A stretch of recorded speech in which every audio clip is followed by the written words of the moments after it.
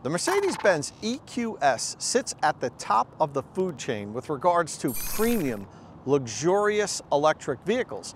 But where does it stand with regards to driving range? We're gonna find out today with the InsideEVs 70 mile an hour highway range test. As with all the tests, we fully charge the EV, which I'm doing right now, then we hop out onto the highway, drive at a constant 70 miles an hour till it won't go any further.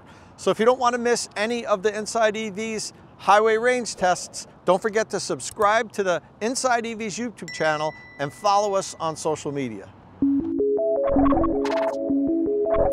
All right, so we're all charged up, 100%. The car is showing that we have 435 miles of estimated driving range.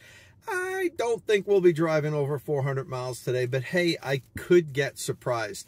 I also set the climate control to 68 degrees and on fan setting number one because that's how we always do it when we do these range tests. And I've reset the trip odometer. Now I'm going to switch it into eco driving mode and head out onto the highway.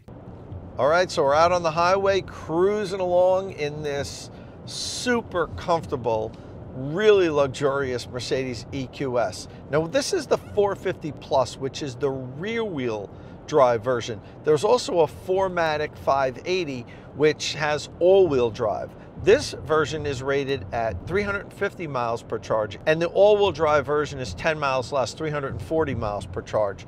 So we're expecting to get close to that today, but we'll see. A friend of mine, Kyle Conner, did a range test on the same version as this recently out in Colorado. He finished up with 344 miles, but he was on winter tires and I think it was 21 inch wheels. I have the best wheels for range for the EQS, the 20 inch five star aero wheels with the standard or the stock uh, all season tires. So I should actually do better than what Kyle did. He did 344. I'm hoping to hit the EPA range rating 350, maybe a little more, but we'll see. Now, I want to talk a little bit about what we do to set the cars up. Uh, as I mentioned earlier, we put it in eco drive mode. I also set the climate control to 68 degrees and on fan setting one.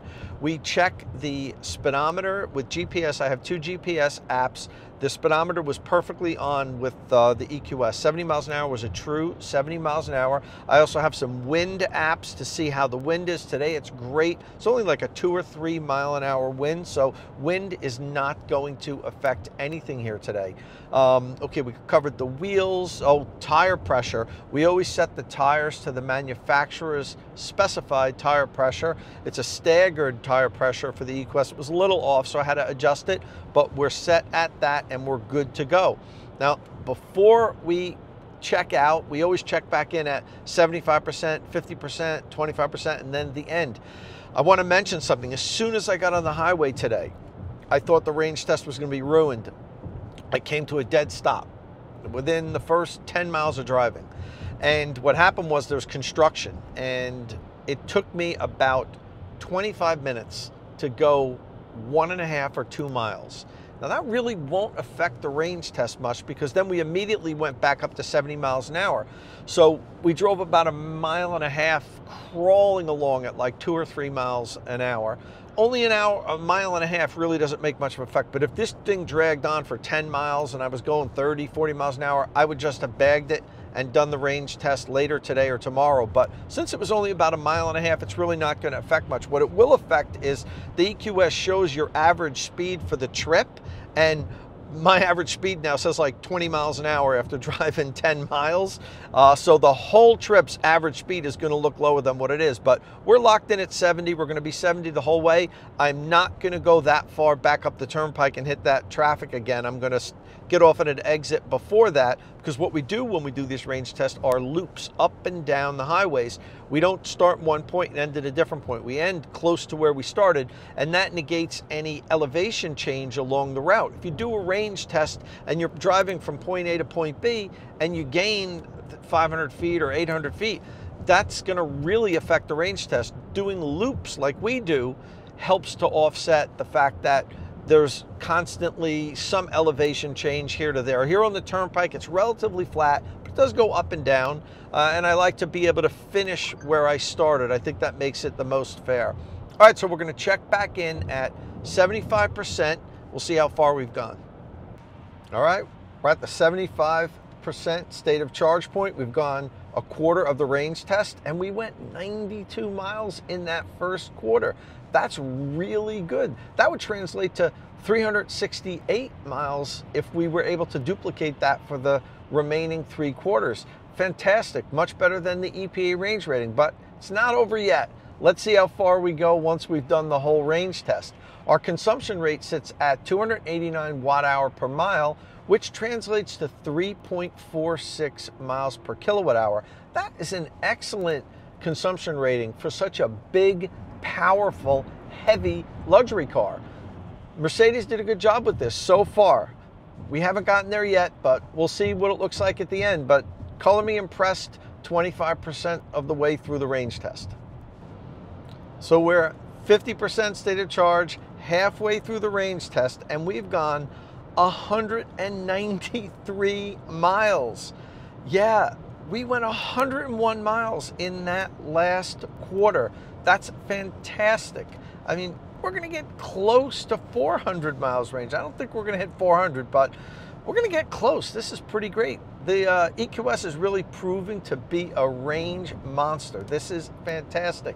The uh, consumption rate got better. We're at 279 watt hour per mile, which equates to 3.58 miles per kilowatt hour. Now that's better than some of the, like the little economy cars that we've tested and range test here. So I tell you, Mercedes did a good job with this. It's I, you know, they definitely made an efficient vehicle. A lot of it's probably the aero, which is important at speed. At highway speeds, aerodynamics is super important. And as you can tell, the front of this vehicle is super aerodynamic. It was definitely made to reduce drag as much as possible. And I think some people would say at the expense of the exterior styling, but uh, I'll leave that up to you to judge. But to put it to perspective, this is going to be by far the longest range EV we've ever tested except for the Lucid Air, which we did a few months back and that came in at 500 miles. That is just crazy. But the Air does have a bigger battery pack than the EQS. Not that much bigger though, but Lucid is really the efficiency king. Uh, now, to be fair, we haven't tested the long range Tesla Model S yet. I did the Plaid Model S about six months ago, the, new refreshed Plaid. Uh, and that came in at 300 miles, but that's not optimized for range like the regular Model S is and has big, wide, huge tires. I and mean, that's a crazy high performance vehicle. We are going to get uh, a Model S soon, the long range, and, and range test it because that is an EPA range rating of, I think, 405 miles, 404, 405, somewhere there. So should be really close to what the EQS does. Neither are going to match what Lucid does with the Air. But I think uh, it's possible that the Model S long range could get close to what the EQS uh, delivers here today. We don't know what that number is going to be yet, but it's looking like it's going to be north of 370, which is just nuts. Um, I'm impressed, and I tell you, if you've got to be trapped in a car for five or six hours doing a range test just driving in circles, this is a nice car to be trapped in because it's super comfortable. Now, yeah, I don't have the air conditioned seats on, the ventilated seats, which this has, because I'm not wasting any energy. I just have the radio on. Again, you know, we try to do the best we can to limit the energy we waste and just use as much as we can to power the vehicle. So we'll check back in at 25% state of charge and see where we are at then. All right, we're at 25% state of charge and we have traveled 290 miles. So that means the first leg of the trip we went 92 miles, the second leg 101 miles, and on this leg we went 97 miles not bad. And I tell you, the range estimator says we can go another 104 miles. So we're getting dangerously close to 400 miles. We'll find out soon when it's over. Uh, one of the things I wanted to point out that I think I forgot earlier was temperature. Now, obviously, electric vehicle range as well as its charging capability on DC fast chargers is highly dependent on the temperature. The ambient temperature, the temperature of the battery is really what matters. And here in New Jersey, it was in the 40s overnight. When I started this range test, it was 52 degrees. and it has crept up now to 68 degrees. But the fact that we started in the 50s and the battery was cold soaking in the high 40s overnight leads me to believe that it probably could have done even a little bit better if we would have done this range test, say, two months from now when it was in the high 70s, low 80s. That's perfect range weather. So, you know, as good as it did, I think it could have done better. Um, maybe I'll get one in the summer. I'm not sure. Mercedes doesn't have a lot of these in their press fleet. But what I'm really interested in doing is getting a hold of one next year in like December or January or February, one of those months when it's like 20 degrees out and doing this same range test on the same course in like 20, 25 degrees Fahrenheit weather. That'll be really interesting to see how much of a hit it takes because we're going to get close to 400 miles here today. This is amazing. Uh, I can't wait to do the Tesla Model S long range, uh, not plaid, to see how it stacks up against this because it's going to be really close. Uh, in any event, that's it for our last check-in. Uh, next time you're going to see me is when the range test is over and we'll talk about the final stats. All right, that's a wrap. We're here at the Electrify America DC fast charging station, about to do a full 0 to 100 charge recording since we have the battery down to zero. And the EQS pulled up with 395 miles on the trip meter. Now I need to explain that a little bit because I pulled off of the highway and stopped driving at 70 miles an hour when it was at 1% state of charge and I had driven 391 miles.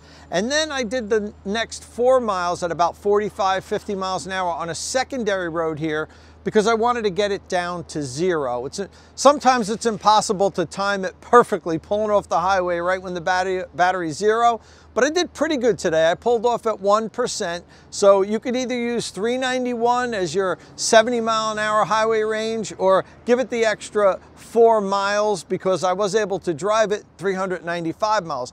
And when I ended, the state of charge was at zero. But the range estimator did say it had two more miles left in it. So the, the, pedal response was starting to get really squishy and I was concerned about running out. So I circled back and came here now. So it does say two more miles. So it's possible I could have driven this 397 miles.